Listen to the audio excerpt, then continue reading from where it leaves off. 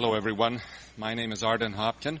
I have been involved with uh, CALLERLAB for a long time, and each year I come, I meet new people and see people that I have known before, and find pleasure in working with you to answer questions that you might have about how to use your voice more effectively.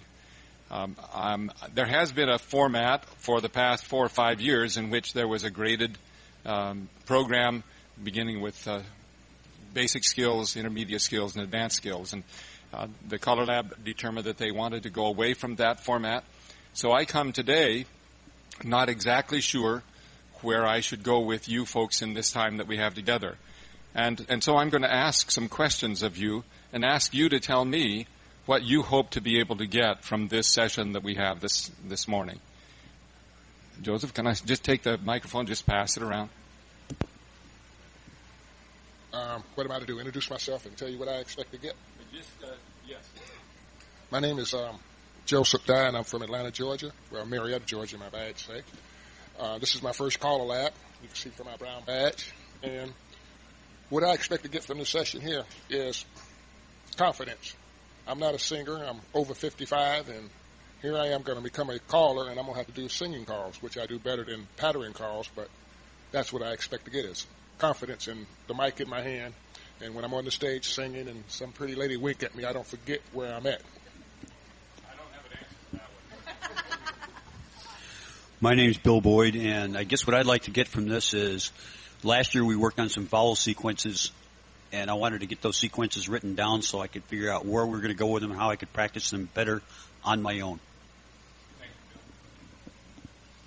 I'm Sharon Kopp from Pittsburgh, Pennsylvania, and I don't know what to expect. I just, I don't even know what I want. I, I know when I do singing call, I have difficulty finding records that really um, that I can sing along with.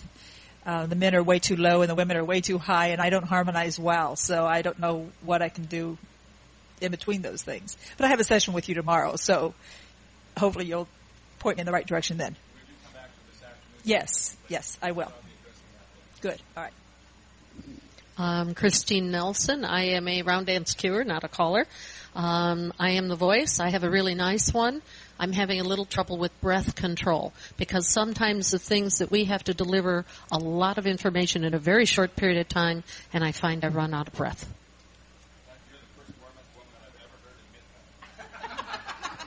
And it's only recently. It's it's kind it's kind of a newer phenomenon. It's just been over the last two years. That may have something to do with the scale. Michael Malton Ford from Chicago. Um, I'm interested in vocal health, uh, how to not hurt myself calling. I also uh, teach for a living, so I use my voice a lot. I don't want to have problems down the road because I'm mistreating my voice now. Do you see any signs of mistreatment? Um, the only signs I see of mistreatment are sometimes um, my voice gets tired and a little bit of hoarseness. Um, some of that I know is stress, and some of it, so some of it. But but I want to know what I can do vocal technique. Should I be warming up before I dance? I don't. Uh, should, you know what what are the things that I can do to, to to to to make the most out of my voice and to keep it healthy? Most importantly. Scott Bennett, Scott Bennett, Lawton, Oklahoma. I have the same type of uh, situation he has. I teach during the day and call at night, and vocal health is very important. As you can tell, I'm kind of hoarse right now. Um, and a little bit about harmony, things I'd like to learn a little bit about. Fran Waddell of New Jersey, and I'm in here for a little bit of everything. I think I'd like to develop my voice, I and learn how to use it properly, um, vocal health, and other things besides that. But that's what I'm focusing on right now. Thank you. Ron Kapnick from New Jersey. Uh, been here a couple of times, and yes, looking for warm up techniques, techniques for preserving the voice, dealing with the voice better. Arlen White, uh, Central California. Um, same thing. Uh, I, I'm here to learn vocal health, vocal technique, and uh, maybe even some harmony. If you can talk about that. Anna Marie Cohen from France.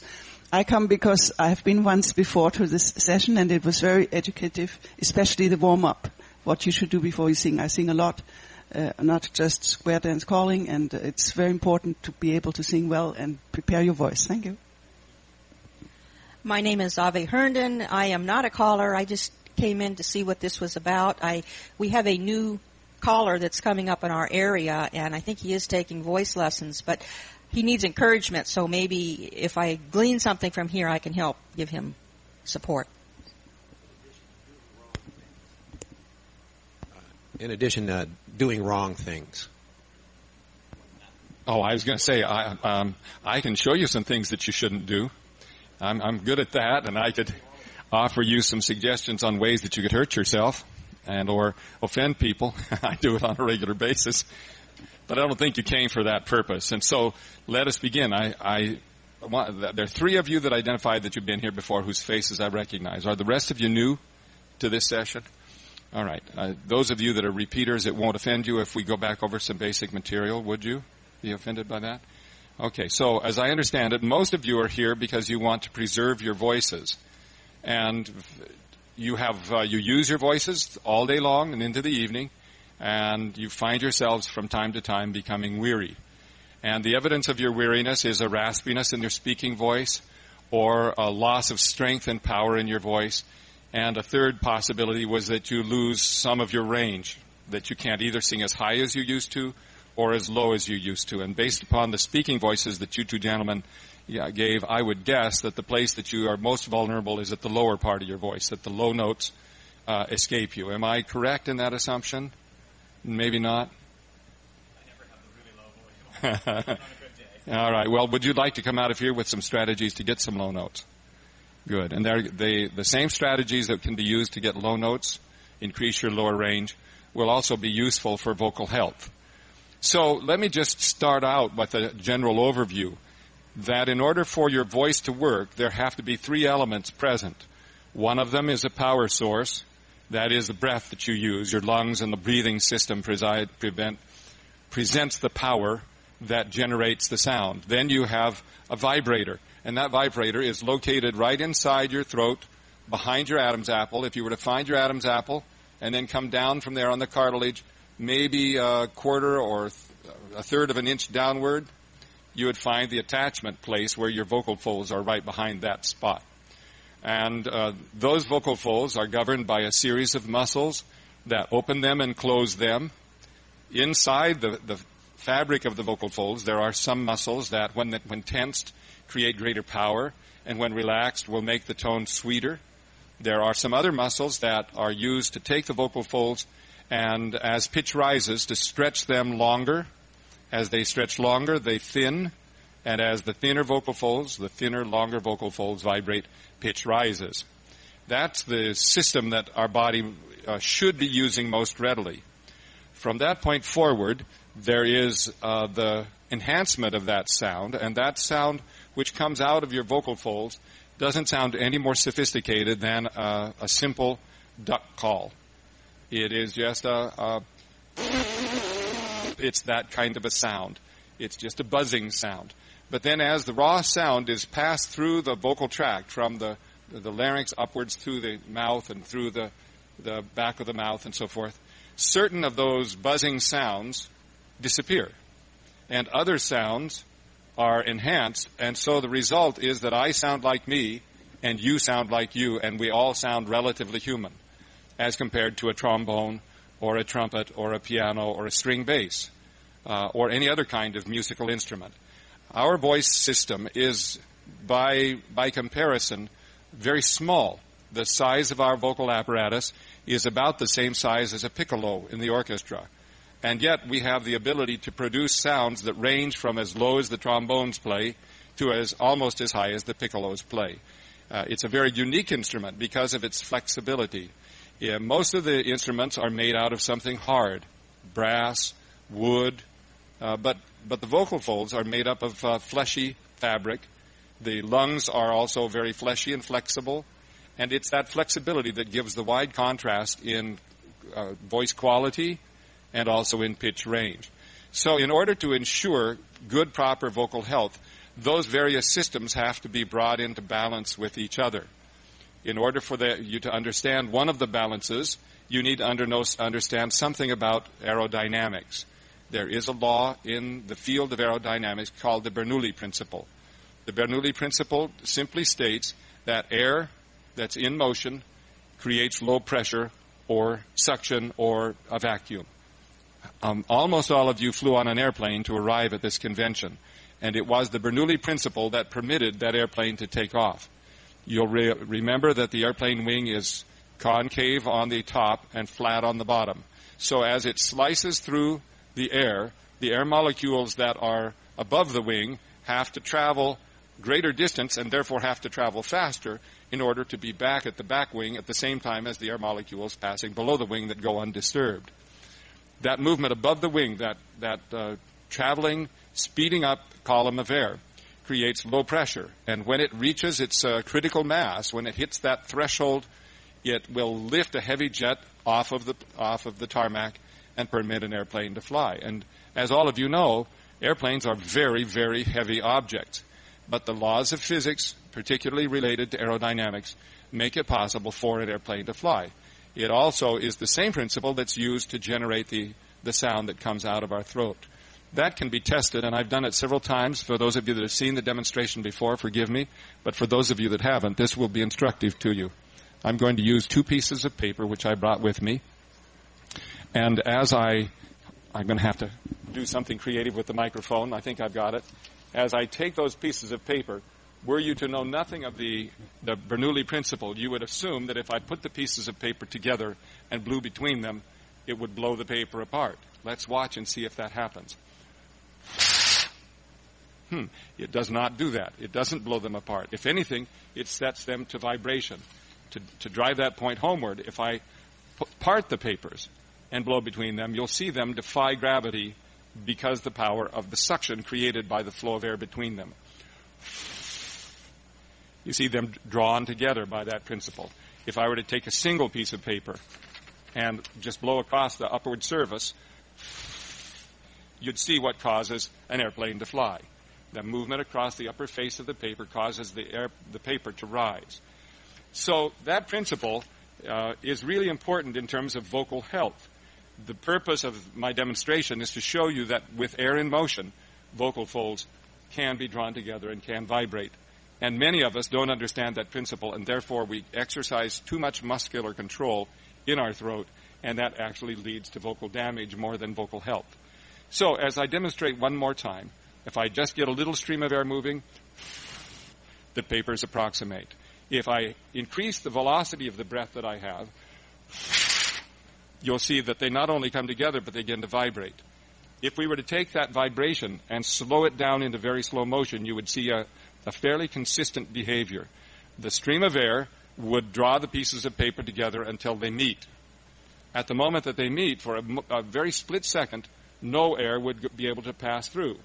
And then, as the continuing breath from my lungs pushes on those molecules, the, the, the air hits a certain uh, thrust energy that parts the paper, and as the paper, as the, the air moves, then it creates that, that suction and brings the papers closed. So the, the papers are going through a, a vibration cycle of open and closed phase that's strictly governed by the speed of the air and the aerodynamics that are associated with that. They don't do anything, they just respond. Thank you very much. As a result, if you get the right velocity of air, you can move almost anything. You can understand that if these pieces of paper were uh, onion skin paper, very lightweight paper, it would take less air to put them into motion than if these were heavy paper, cardstock. And in the case of a hurricane, uh, you can actually get pieces of corrugated steel that will vibrate against each other because of the very power and velocity of the air that's involved. And of course, corrugated steel is very uh, inflexible, very stiff. But the, the, that law of aerodynamics applies in many ways uh, across the world, but it applies very much in our business. I'd like to have you run a test with me so that you can begin to sense this in your own bodies.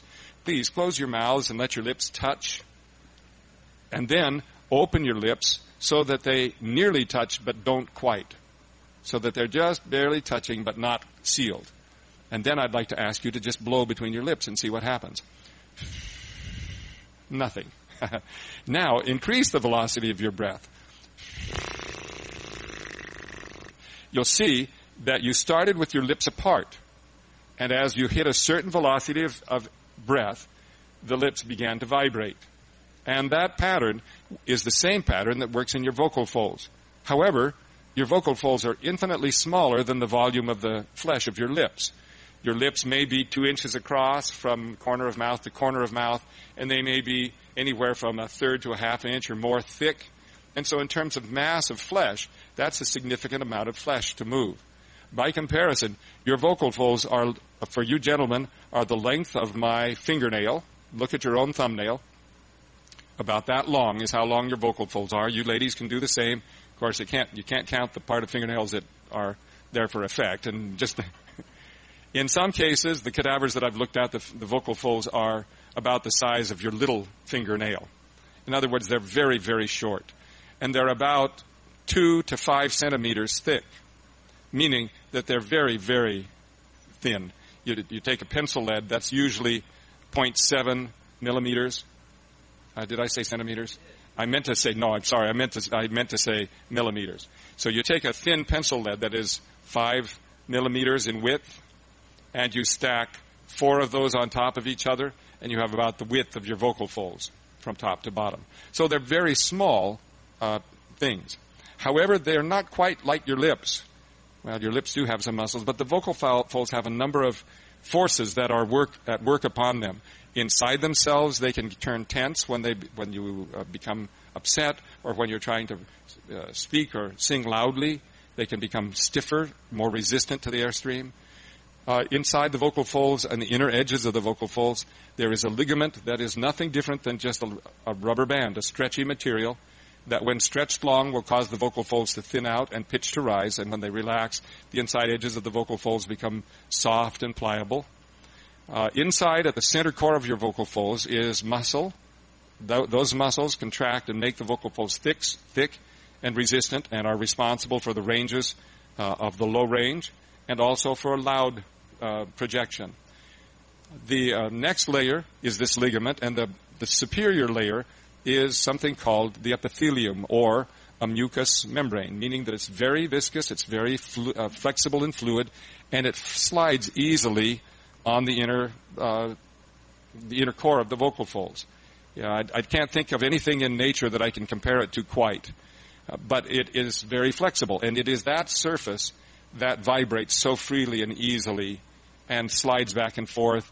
As a matter of fact, if we had a video camera, if I had a picture I could show you, you could look at vibrating vocal folds, and it, it appears for each time the vocal folds open and then close, at, at their closing phase, a ripple wave begins at the center edge of the vocal folds and gradually moves outward like dropping a, uh, a pebble in a pond. So the, the surface edges of the vocal folds are very moist, very flexible, and almost like jello. They're very flexible in their, uh, in their makeup, and that makes them very uh, easy to, to vibrate.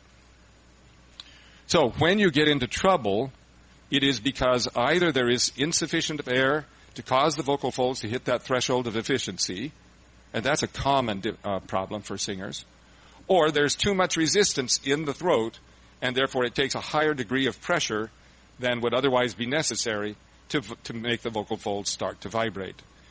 Um, many people have a kind of a tight, strident speaking voice as a means of making their voice heard the sonority of a human voice can vary from very tense and very tight and uh, to very loose and relaxed. And I will demonstrate some examples of those sounds.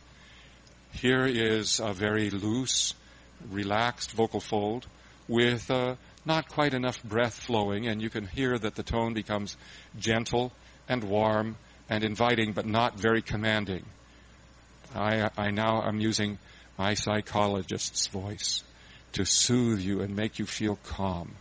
And that isn't the voice that you want to use when you're trying to get dancers to obey you in a square. That's uh, to invite disaster. It also doesn't project very well. However, with amplification, that sound can be very friendly and very mellow and very inviting. So it's a tone quality that callers might want to use on occasion when giving instruction and even when everybody, you could see in the square that people are beginning nervous or anxious by just gently softening the quality of your tone, you can create a sense of uh, confidence and reassurance for the dancers. Then, then if I take that very loose, relaxed tone and increase the volume of the breath, the, the frequency of my breath, do you hear what happens to the sound? It still has that same sort of mellow quality to it, but it now has much more of a command to it. Can you hear the difference? Here's this sound, and it's breathy and uh, not powerful. But as I increase, without changing the position of my throat, if I increase the breath stream, it moves to a point of great efficiency and clarity in the tone without sacrificing the warmth and the depth of the, in my voice. If I go farther and start to tighten up my vocal valve, the, the vocal folds, then you can hear that the tone becomes quite tight, kind of present, and a little bit irritating. And so we have developed in our lives the ability when we want people to do what we say and do it right now, we use that irritating voice. It's a little tight and a little breath starved, and they will obey you, but they won't like you in the process. And so, ranging between that very tight and bright sound and that very loose, warm, mellow sound is the range where the best vocal health exists for achieving your objective of getting projection in your voice with an ease in its production. It has everything to do with the balance between the vocal folds, the resistance in the vocal folds, and the amount of air that's being delivered. And every person must find their own balance because each one of us is unique in the, the makeup of our body. We share in common the very various elements of our body, but we all are unique in terms of the direct application for ourselves. So I would like to have each one of you join me in an experiment. The first thing that I would like to ask you to do is to make a sound that I would characterize as being a whispering sound on pitch. What that means is that your vocal folds are vibrating just very gently. Here is an example of my voice with no pitch. I'm simply whispering to you. But now I just put a little bit of sound into it, and then my vocal folds are vibrating. And I can create a pitch by doing this. I can make that gentle sound right at that pitch level, or that pitch level, or that pitch level, or that pitch level. But with whispering, there is no pitch associated with it. So I want you to find right about this range the gentlest whispering sound that you can make on that pitch. And just sing ah. Ah. Join me if you will, please. Ah. Are you okay? You're all doing it so well I can't hear you. So I'm going to get up and I'm going to move around one by one. Okay, so very gently.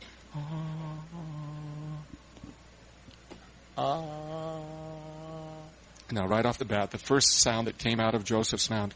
Come and join us in the circle, if you will. Don't be shy. There are seats awaiting you. You'll hear that the first sound that came out of Joseph's mouth was a popping, uh, a kind of a percussive beginning. And so right from the very beginning, I know that Joseph's tendency is to use his vocal folds in a more constricted way than he will want to when he leaves here today. So, having said that, can you sigh? Can I? Sigh? Like, ah. Ah. But easy, gentle. Ah. Very good. Now take the top note of that. Ah. And just sustain it. Ah. That's good. How gently can you do that? How quietly can you do that? You ask me to do something I used to No, that's right. do. Ah. There you go. There you go. So you, you saw that you were doing almost nothing, next to nothing, in terms of, and still getting a little bitty sound. That is not the sound that I want Joseph to leave the room with. However, that is the sound that I want him to begin with. I'm going to get each one of you to do that. Excuse me. You can see that at the attack moment it was a little bit more active than it should have been to be able to achieve it successfully. Very good. Good. Now I'm saying good because you're ex- you're successful at doing the activity. That is not the sound that you want to sing with. good. Would you describe what the feelings are in your throat? Uh, almost nothing's happening. Yes, one of the things that you be- do become aware of is the movement of the air through your throat. Let's see if that's not true. There's a sense of breathiness to the sound. There's a movement of of air escaping, where, and that's different than normal. Would that be correct? Yeah. All right. Uh, sorry. As you're listening to each one, so far you're hearing most of the individuals start with more percussion at the beginning of their sound than they'll eventually have. Ah. Can you be quieter? Ah. That's very good. After the onset, which was just a little bit awkward because it was too tight in the throat. Good. Good. Again, the same thing. As you first start, the muscles set themselves and then you have to coax them into letting go. Yeah. Very good. Good.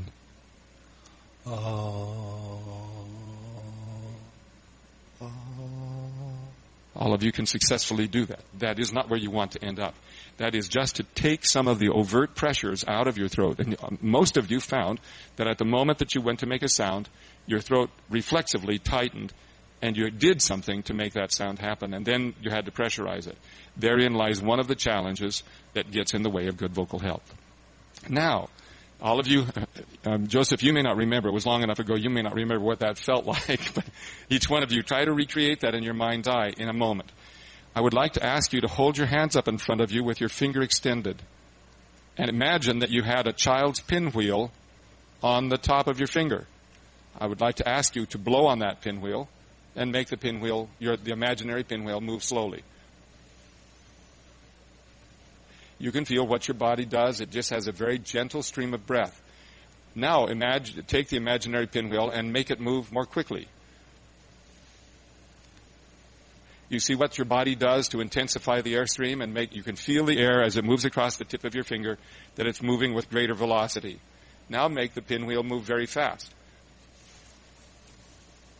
Remember that image as we now take that sound that you presented that was very gentle. Uh, I'm going to demonstrate.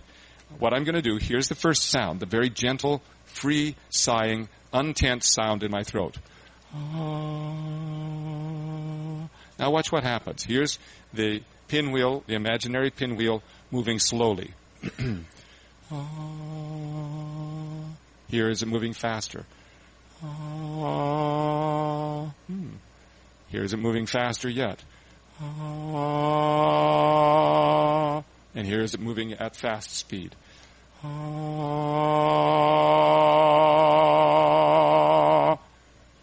And so what happens is without changing anything in my throat from that sighing position, which I started with, and by finding the point at which my breath was at the right velocity to cause my vocal folds to close spontaneously and begin to vibrate, I found a, a, a comfortable, relaxing position from which I could make a, a singing tone. Would all of you try that? Here, we're going to start on this pitch. So start with a sighing sound. Place the imaginary pinwheel in front of your voice, in, your, in front of your mouth. Make the air that's coming out represent the pinwheel moving slowly. And what you can hear is a quietude, an easiness, but also um, a breathiness. There's a diffusion in the sound. Now, increase the velocity just in the same way that you did it a minute ago, but leave your throat in that sighing position. Ah. Keep going. Ah. Okay, now make it more faster. Ah. You can hear what's happening to the quality of the, of the voices in the room. It is becoming greater volume, greater uh, projectability, but not yet to that threshold. Now make it move quickly.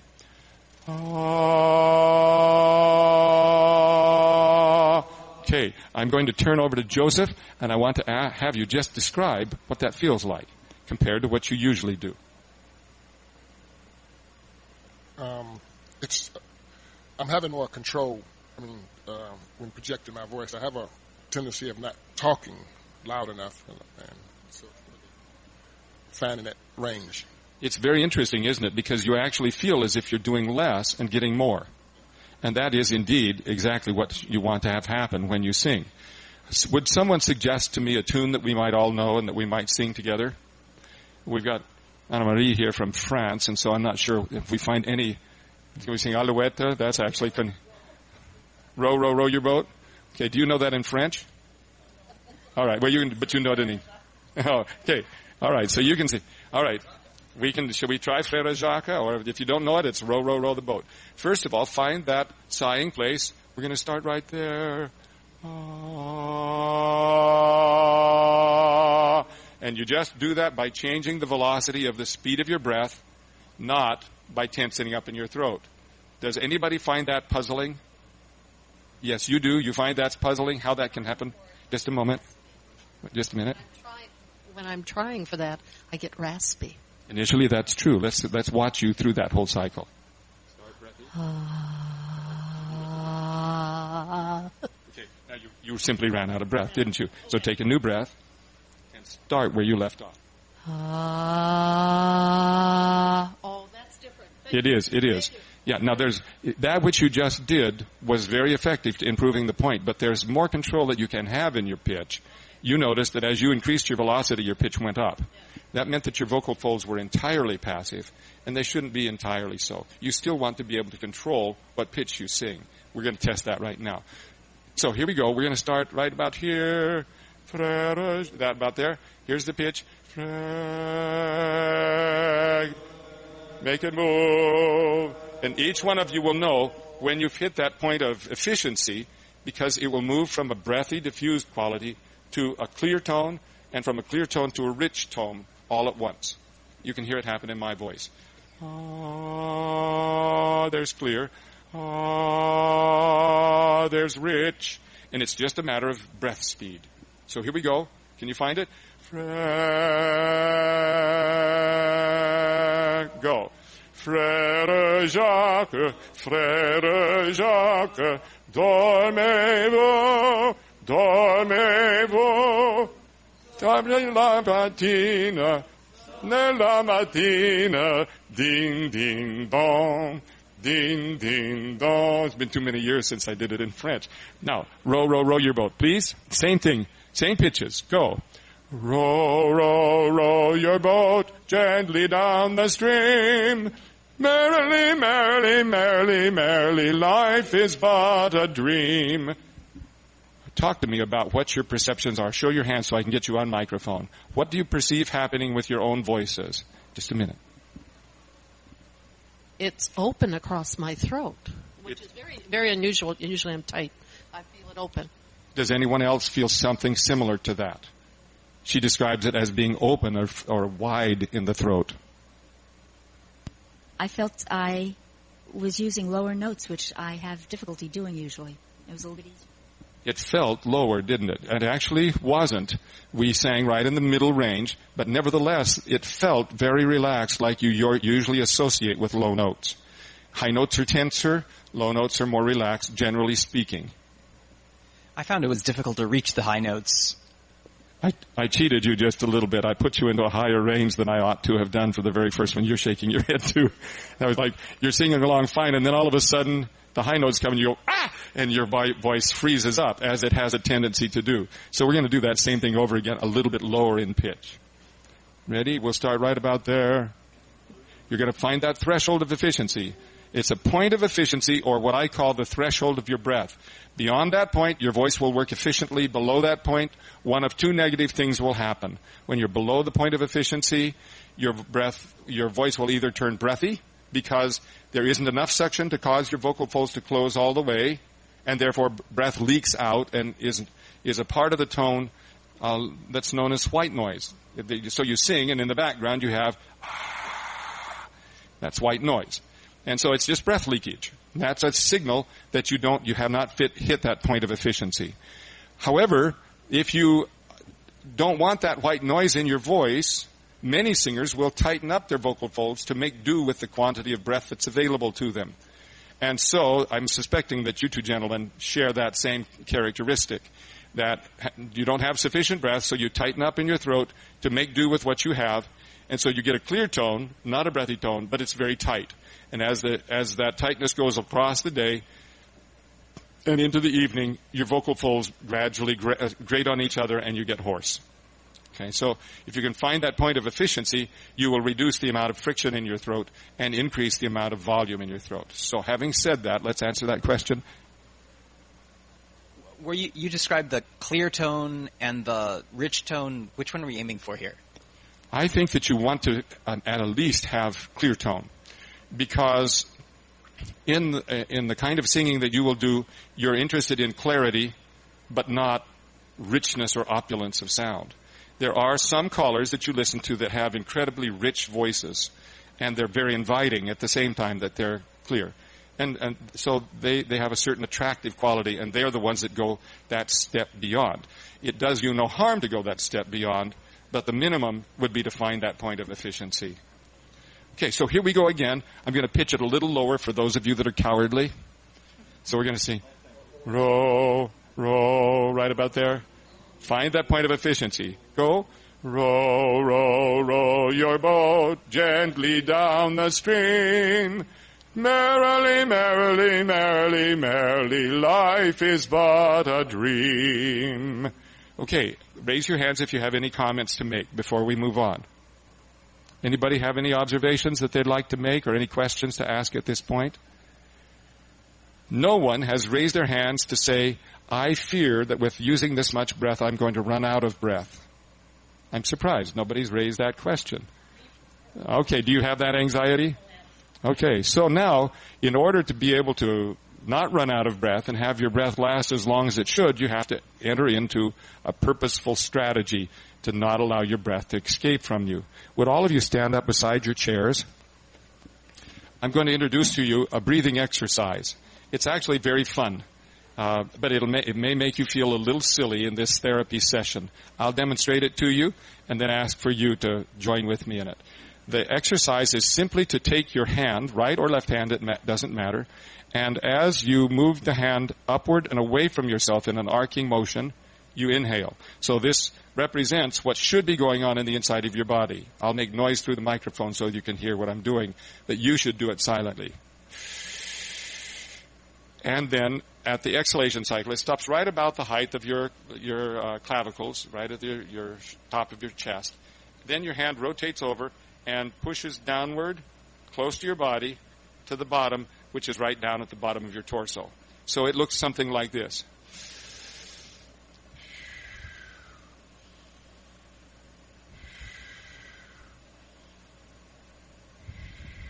What you're learning to do is to externalize the motion of your breath. Can you all sense the natural rhythm? You get a little mariated with too much oxygen. You can see that it just your bottom ha- your body has a rhythm. It's like the, the flow of the tides, in, out, in, out, and it's a very soothing and calming cadence.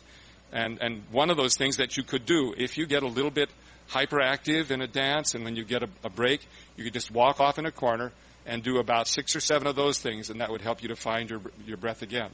So you can see that that's uh, that's pretty demonstrative of what we ought to do when we breathe. As as you do that, I'm watching you out of the corners of my eye, and it appears that you're breathing healthily and appropriately.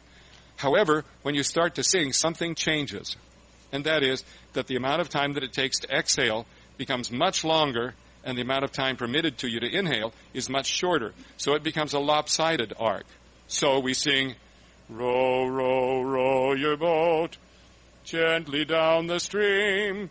Merrily, merrily, merrily, merrily, life is but a dream. You see that cycle? Would you join with me? Row, row, row your boat gently down the stream. Merrily, merrily, merrily, merrily, life is but a dream. And yet the pattern is that we don't take that uh, breath that often. Therefore, the movement of our hand needs to slow down to mirror the movement of the breath. I'll demonstrate it. Row, row, row your boat gently down the stream. Merrily, merrily, merrily, merrily, life is but a dream. And the simple process of metering my hand caused me to not use my breath so uh, so much at the beginning. Our body has a tendency when we breathe to just take a breath and relax, and take a breath and relax, take a breath and relax. And as we as we relax, the breath exits our body.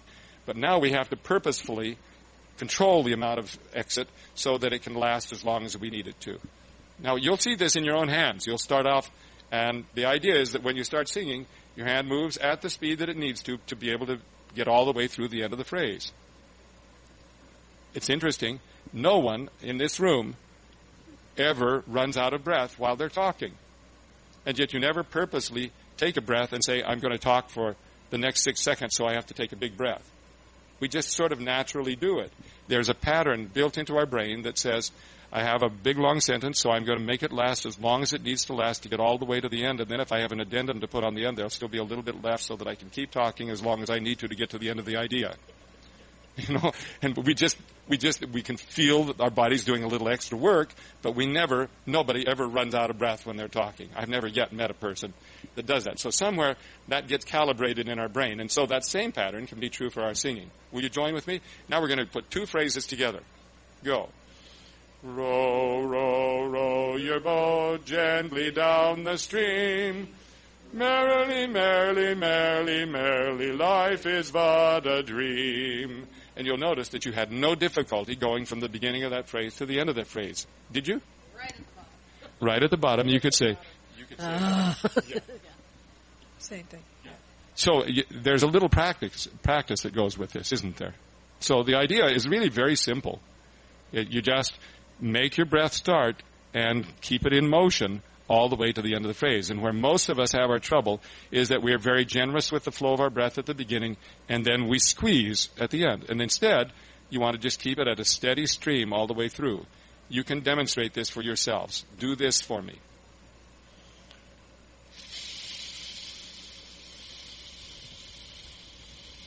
Now, right about there, you'll say your body doesn't want to keep the air flowing. Keep it going, keep it going, and then take a new one. And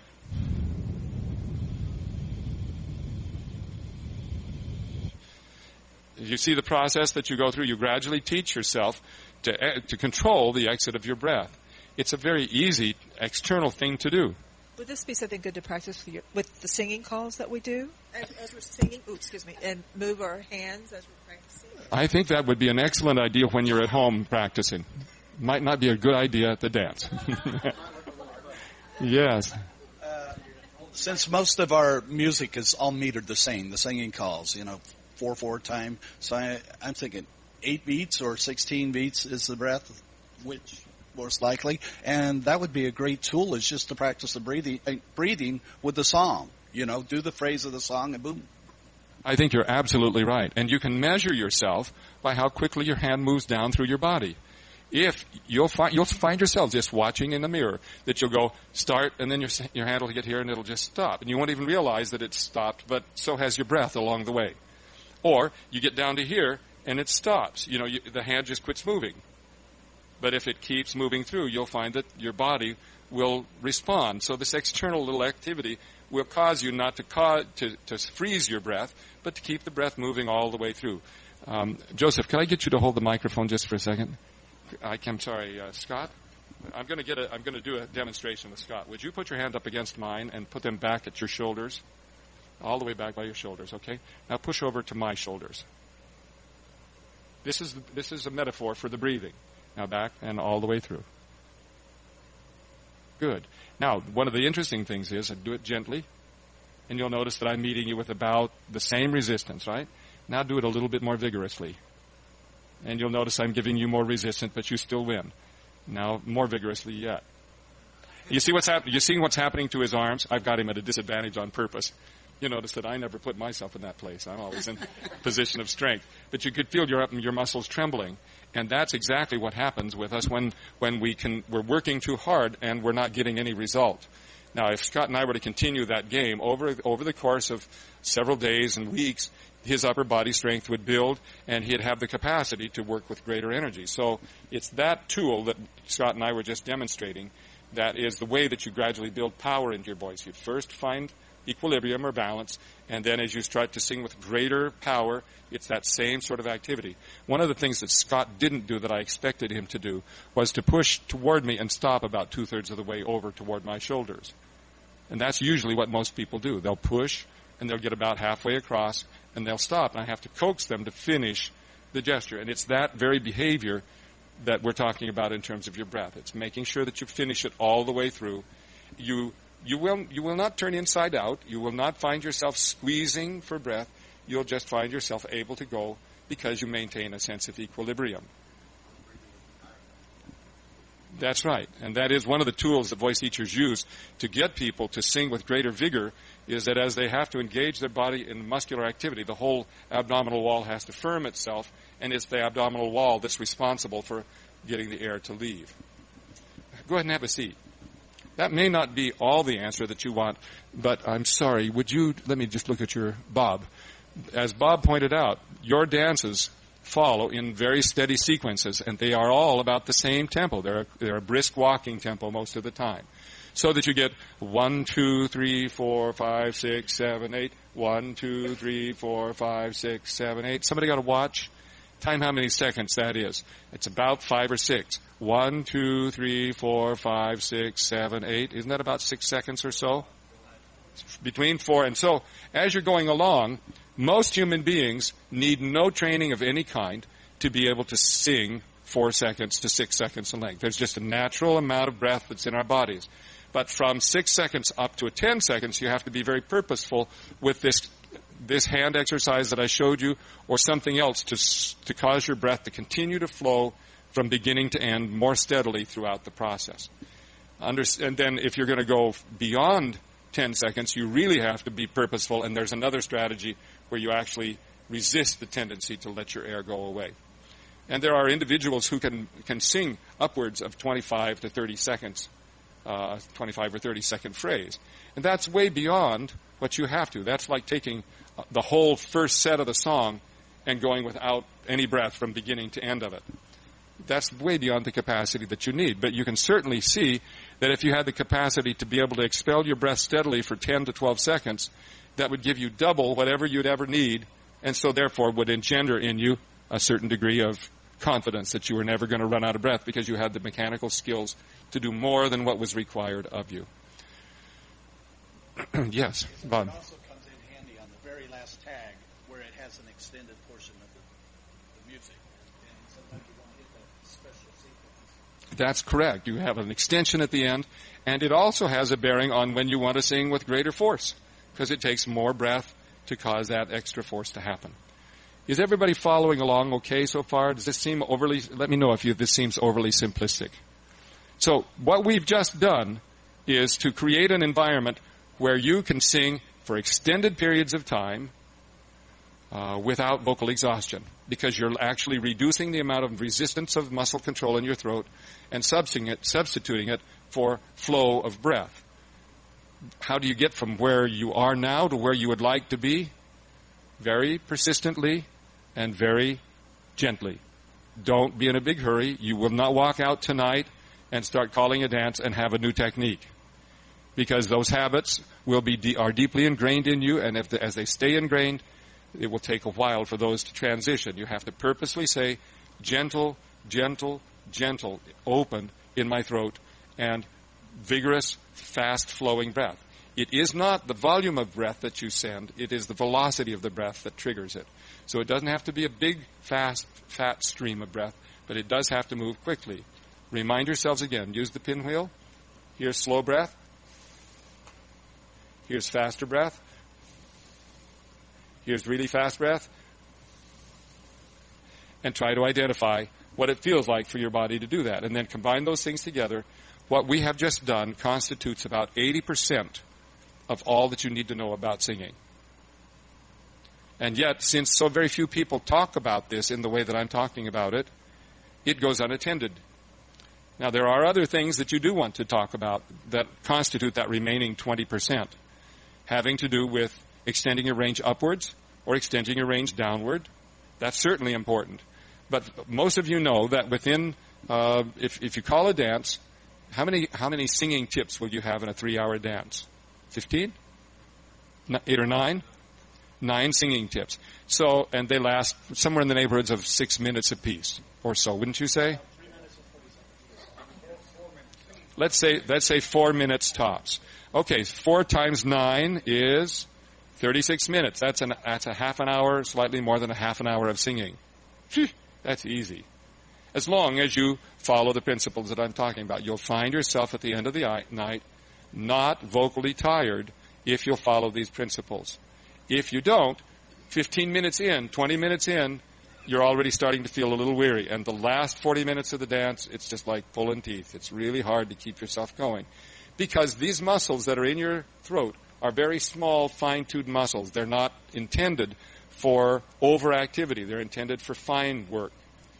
Um, the muscles that you have in your fingers are not as strong as the muscles that you have in your arms, nor are they as strong as the muscles that you have in your legs, because they're designed for fine work, not for heavy lifting kinds of things. So therefore, the, you need to be respectful of the muscles that are in your throat, that are in your larynx. They're for fine-tuned activities, not for heavy-duty activities. So be gentle upon them. But these muscles of breath, those are designed for vigorous work and can work for long stretches of time without weariness. Who would like to now talk about range? Okay, good. One of the things that you'll discover is that as soon as your vocal folds hit relaxation point, when they're no longer stiff and resistant, you will, your range will extend upwards and your range will extend, extend downwards. I'd like to teach you a skill. It's called, uh, in German, the Freitone or the free tone. It's just a rumbling tone in your throat. I'll demonstrate it. Uh, will you do that with me? Uh, you'll notice that my tone has no pitch to it at all. It's just a rattle. Uh, is there anybody having a difficult time producing that fritone? Uh, uh, somewhere over here, I'm hearing it. And there was a hand over here. Okay, can I get you to be a guinea pig for just a second? I have to check your name. Sharon, thank you.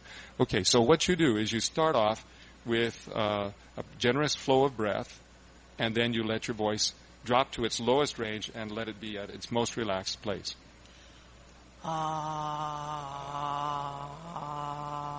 I'm going to have to sneak up on Sharon because she's never gone down into that range before. She doesn't know this particular modality in her voice. Will you purse your lips like you were going to holding a straw in your mouth? Or like you were going to kiss a monkey? Really small lips, right? So you Can you blow through it? Can you vo- voice that sound? Good. Now I want you to just glide down as low as you can and then below. You'll watch me do it once and then you imitate me.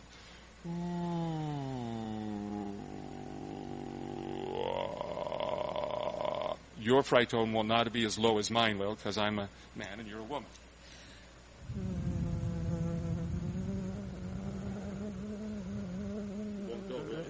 She has she has a modality that she has never found before. I'll have to scratch my head a little bit to see if I can trick you into that place. Go ahead and have a seat, Sharon. Did you? Yeah, and it, it's actually like doing something wrong, you know, like ooh, sorry, you know, when in actual fact it's just a new, new modality. Bob, would you come up and give it a try? Off, the, off out of my right ear, I heard somebody who wasn't there. Was, that was me. So, Oh, oh, oh, ooh, ooh. but purse your lips as if you're going to blow through a straw.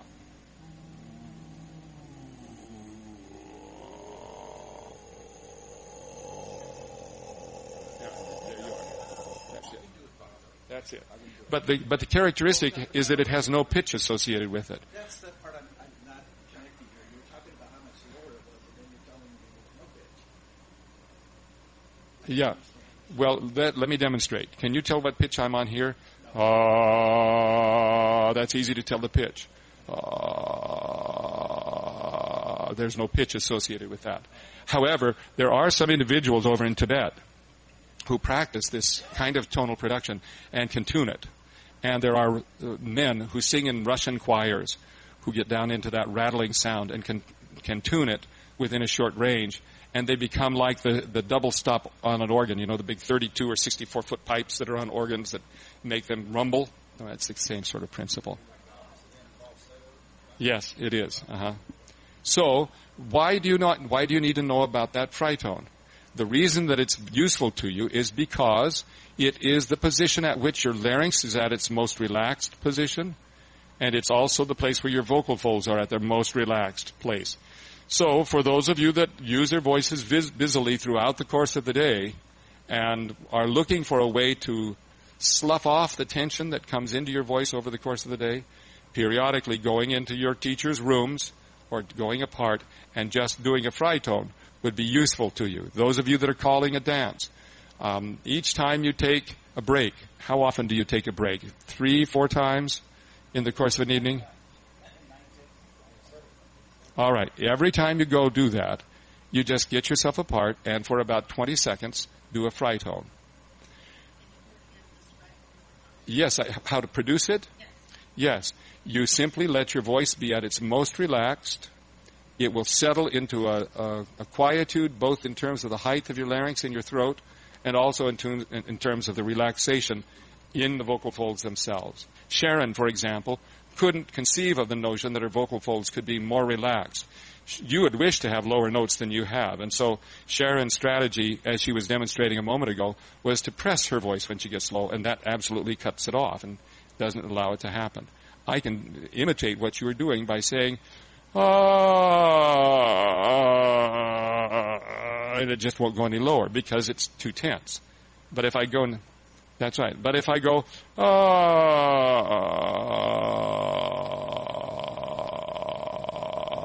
and there it is. So that that means if you were able to find that tune, that that tone, is a way to preserve relaxation in your throat. It's also a way to start discovering a wider range for you to sing in. Let me demonstrate. I'm going to start with a, a fritone, and then I'm going to turn it over into a real singing tone. You'll want to listen carefully to see if the transition is handled smoothly or bumpily. And the, the desire is to get it to blend right straight across from that relaxed fry tone to an actual sung pitch. uh, uh,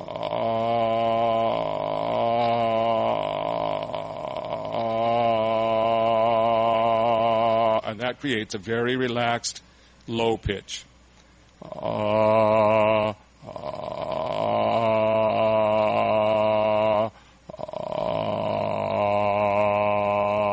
uh, you can see it's right in between there. That's the lowest pitch that I sing.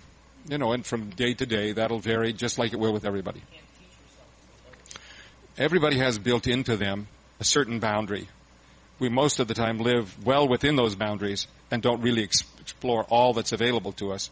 But there are upper extremes and lower extremes beyond which we can't go, and that varies from person to person. But if I establish that pitch, uh, uh,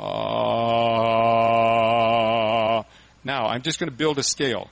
Uh, uh, uh, uh, uh,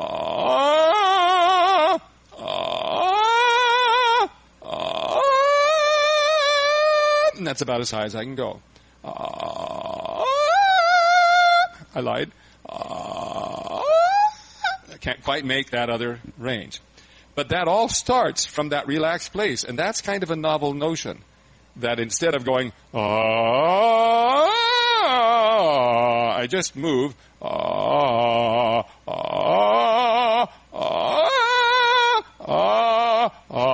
and they all emanate from that position in my throat that grew up through the fritone, the, the relaxed place. So, what are we going to do about that? Somebody want to be a guinea pig? Come on up. Okay, so first what we're going to do is get you to find the fritone. Uh, let, let that blend across to whatever comfortable low note, doesn't have to be particularly low, that you can produce. Uh, if you were going to really bring that to that point of efficiency, you'd have a little ways to go, wouldn't you? Because it's still a little breathy. Can you hear the diffusion in the tone? Uh, You'll notice that at the moment that it started to turn to a pitch, your muscles in your throat tightened. Did you sense that? I, I heard something happen. I didn't know what was happening. Uh, okay, now using that fry tone, go to that pitch. Uh, I didn't make that pitch, did I? What pitch? Uh, so you're right there. Join with me. Uh, uh, uh, uh, uh, uh, uh, Yeah, that went turn falsetto, but he went all the way through uh, an octave and a half of range, which, by the way, is about as high as you ever need to go to be able to do any kind of singing call. In order to get uh, sort of have free range wherever you want to go with any any singing call, you need about two octaves of range because some of the men who record the records have higher voices and sing higher, and some have lower voices. And by the time you intermingle them together, you end up with uh, the need for about two octaves worth of range if you're going to sing any kind of call that you want to. But for most of you, having a range of an octave and a half is going to be just all you need. Uh, did that surprise you? Um, surprised me that going from the fried tongue all the way up was as comfortable as it was. It's it's very deceptive, isn't it? It's not as you expected it at all. And so part of the game that I wanted to show by that little demonstration was that as you achieve relaxation in your vocal folds, you achieve greater access to your low range and you achieve a greater access to your high range than you otherwise would have. All as the byproduct of just maintaining relatively relaxed vocal folds instead of hyperactive vocal folds. Okay, Michael, thank you. Yes. Your discussion on posture. Would you go over that one more time? I'd be happy to. How am I doing on time? Because we didn't got to. We haven't talked about vowels yet. Am I over? Is it past noon? Okay. It's six minutes to twelve. So we're good, right? I didn't think I was. I didn't think I was that far off. All right. Okay.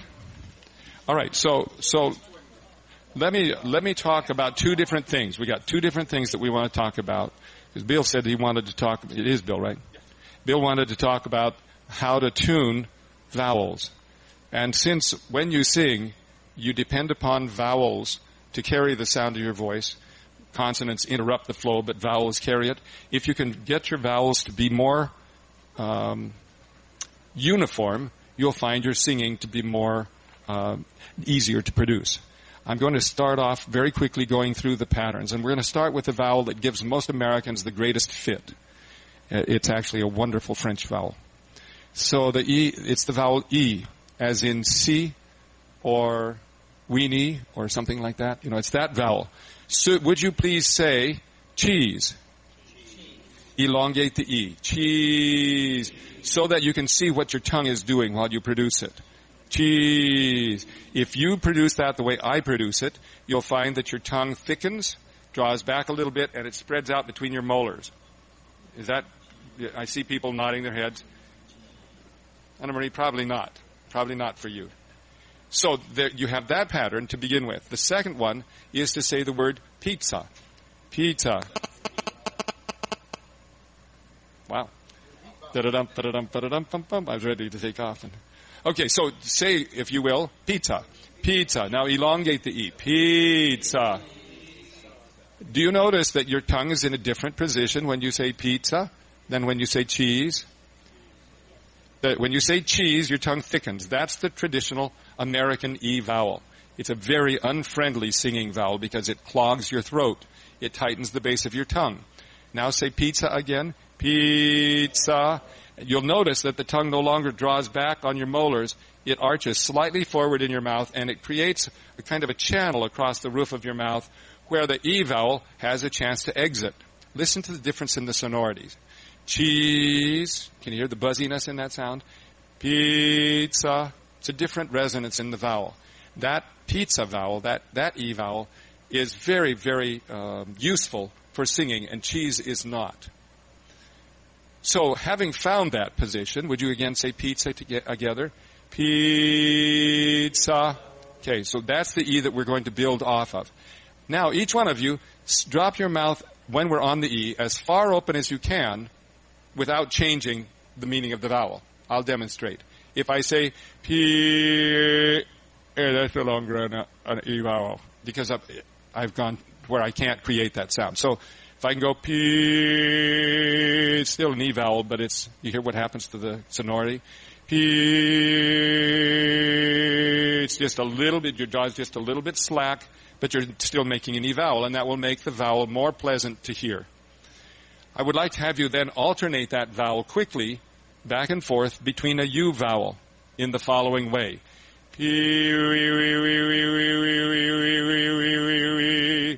Go. And stop on the U. Whoops. well, You stop too quickly. What I want you to do uh, before you stop is you'll discover that as you alternate those vowels quickly, they will equalize. And what I mean by equalization is that you no longer feel the E in the front of your mouth and the U in the back of your mouth, but as you go quickly back them, back and forth, they centralize and you can still hear the E sonority, you can still hear the U sonority, but you don't feel the movement in your mouth. And that's, it's a very personal way of identifying that, uh, that uh, arrangement. Would you join me? And then stop on the U. I want you to do it five times and stop on the U. Go.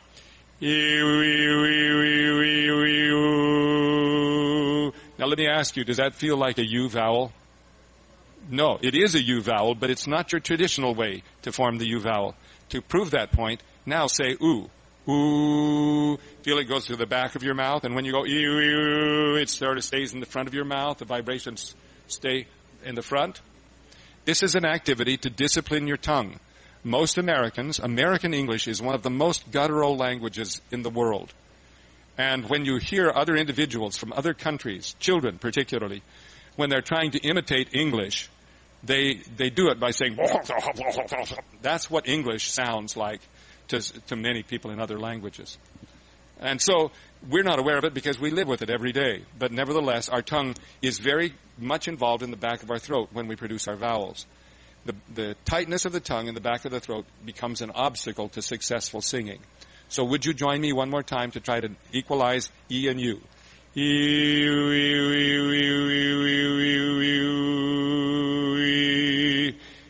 Good. And one of the nice things about that is that the U no longer is swallowed. It projects outward and therefore is a, a uniform quality. The next vowel that I'd like to have you join with that E is an A vowel. Would you simply say, yay, yay, yay, yay, yay, yay, yay, yay, yay? Go. Yay, yay, yay, yay, and stop on the A. Does that, as you come across from that equalizing thing, does that feel like an A? Try it. Yay, yay, yay, yay, yay, yay. Now see your normal A. A. You can feel your tongue moving backwards and it's, it moves back on your molars.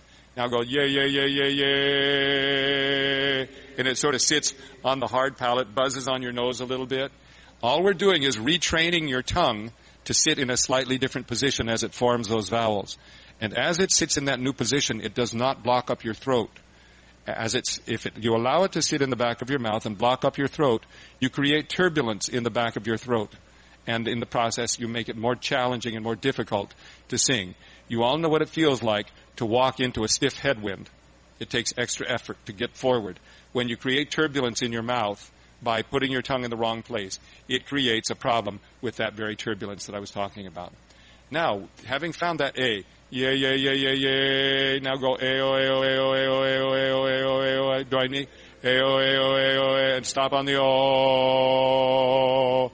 And there again, you find that the o is different than normal speaking o. the last one that you need to equalize, and then if you if you go ayo, ayo, ayo, you, ya, ya, ya, ya, wa, wa, wa, wa, wa, wa.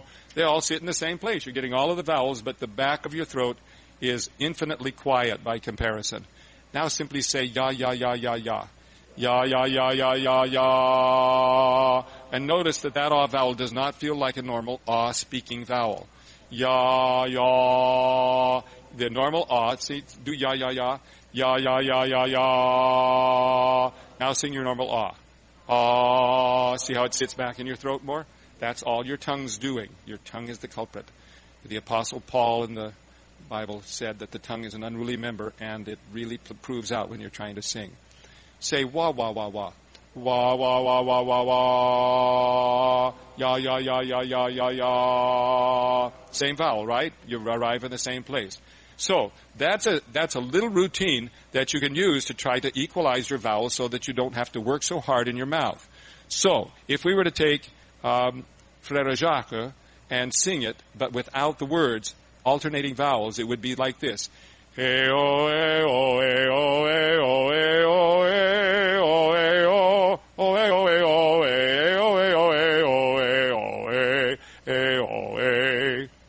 And I'd like to have you try that. Try it.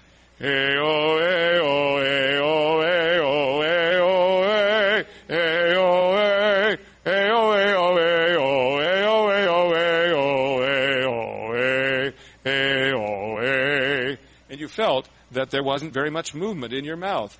Some of you would have drawn attention to the fact that as you start to go up the scale, that doesn't sit where you normally think your voice is supposed to sit. Did anybody sense that? As you moved up into the higher notes of the note of the song, did the vibrations sit in a different place than when you normally expect them to? Try it with me, and, and then we'll have to stop. Ayo,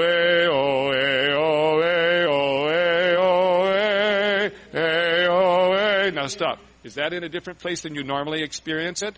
Now sing your normal language. Frère Jacques, Frère Jacques, dormez-vous, dormez-vous. You see, it's in a different place, isn't it? And it is in a different place because your tongue is in a different place. And it's in a different place because you're singing habitual vowels rather than these equalized singing vowels. How do you make application of this? When you are learning to put calls into your voice, don't sing the words straight off. Choose a vowel combination, either E and U, or O and A, or E and A, or U and O, or O and A, or A and A. They're, they're just, I'm just taking the five cardinal vowels and putting them in an organized pattern. So if you're learning that singing vowel and you're trying to work, singing call and you're trying to work the tune into your voice, just equalize your vowels and sing the tune until you get it learned. Having felt that pattern, then turn right back around, having felt that pattern, and sing it, trying to imitate what you've just done with the equalized vowels. Little by little, your voice will become more resonant. It will speak out into the room with greater ease, and your singing will be less wearisome to yourself and also to the people that listen to you. So we've talked a little bit about uh, equalizing of vowels. We talked a little bit about a strategy for range extension. We've talked a little bit about a lot about the, the fundamental way of making a healthy singing tone. And the only thing that we have not discussed is how do you warm up your voice. There is a very quick warm up that you can use. Will you all purse your lips as if you were going to uh, drink out of a straw? Or would you say, uh, Anna Marie, will you say oui? Oui? See what? See the little when she begins the little W beginning, it has a fricative quality to it. it it's not oo, but v because it's very tightly pursed in the front of the mouth. That's the perfect example of that sound that I'd like to have you use. Then choose that in a low range and simply rev your engines. I'll demonstrate. Like you're trying to get a car to start. Using that very same energy, raise the pitch. Some of you will feel that your throat rise. Don't do it. Keep in the same place. Hmm. Now go to the high range. Hmm. You make sure that the vocal folds are passive. That's done by the little the little W thing. Boy, I need time to explain that, so I just won't. Then, having done that, you go hmm. Try it.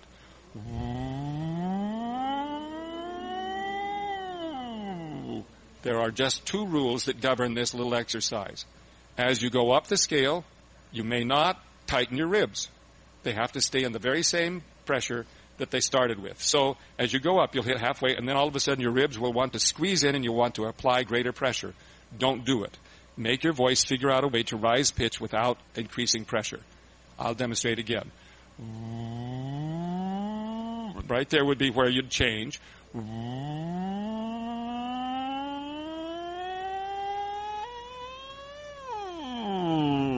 Just don't allow your, your breath to compress. Try it.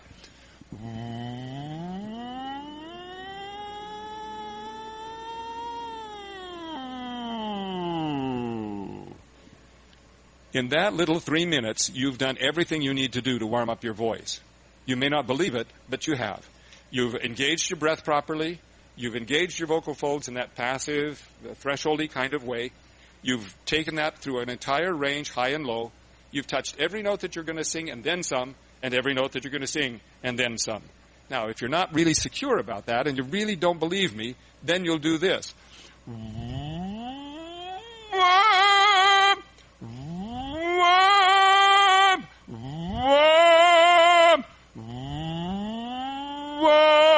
And you see what I'm doing. I'm just setting up the pattern and then just opening my mouth up and letting come out what it'll be.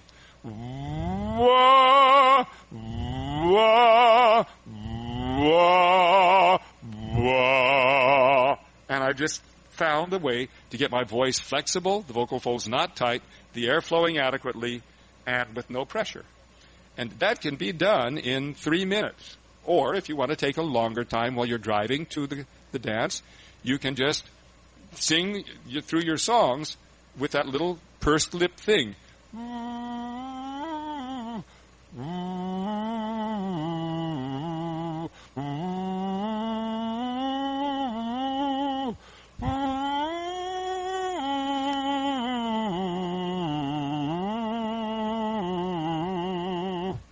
No pressure on my throat. And one of the great things about this little warm up is when you're in that positive pressure environment, meaning your lips are tightly pursed, you will never hurt yourself. You will never damage your vocal folds.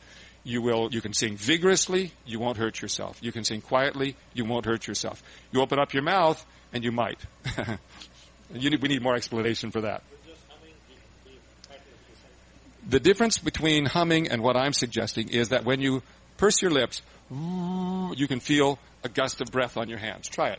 Uh, w- let's sing um, um, Row, Row, Row Your Boat.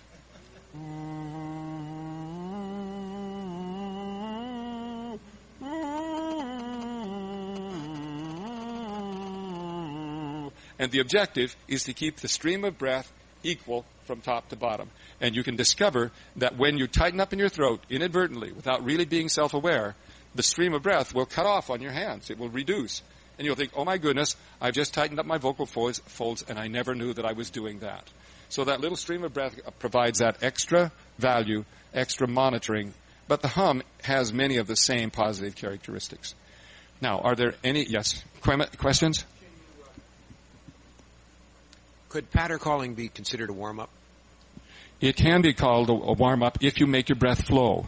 But one of the challenges with patter calling is that the emphasis is put on the articulation of the words, and you'll find yourself tight in your throat and tight in your mouth with no air flowing, and that reinforces that tight production. But uh, apart from that, yes, it could be useful to you. Are there any other questions? Wayne. Um, drinking lemonade does that help your vocal cords? The, the answer is a very simple one. You should stay hydrated, but uh, when you feel parched in your mouth and you take a drink, it really does not do anything for your vocal folds immediately. It may take the parched feeling out of your mouth, in which case no problem. But the absolute truth is you don't want water, you don't want lemonade, you don't want coffee, you don't want any liquid down on your vocal folds. Everybody knows what it feels like to swallow down the wrong pipe. And that's what happens when you get liquid down on your vocal folds. So what happens is that you, you take the parched feeling out of your mouth, but it has nothing to do with your vocal folds. The vocal folds get their hydration anywhere from 24 to 36 hours earlier than that.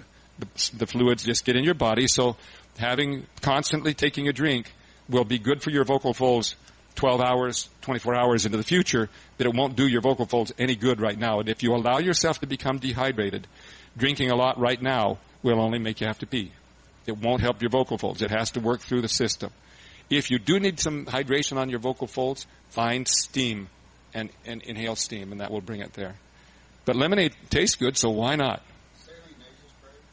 Saline nasal spray will help your. It will do fine, but you do not want it down on your vocal folds. It will take the dryness out of your nose. It will take the dryness out of your mouth. But the vocal folds are quite another system that receive their moisture not from the external, but up through the, the whole body system. And so you should be drinking, oh, and anywhere from a half a gallon to a gallon a day, and in great exertion more than that. And most of us drink a very small fraction of that much liquid, and so most of us are somewhat dehydrated. I've uh, I've kept you longer than I should. I appreciate your your uh, patience. One quick question: How long uh, do you stop drinking before you're going to call? I don't think you stop drinking. No, there's there's no reason to stop because everybody suffers from that parched feeling in your mouth, and when you feel that, that affects you psychologically, whether it affects your vocal folds or not. You're all trying to get out. Let's go away. Thank you very much.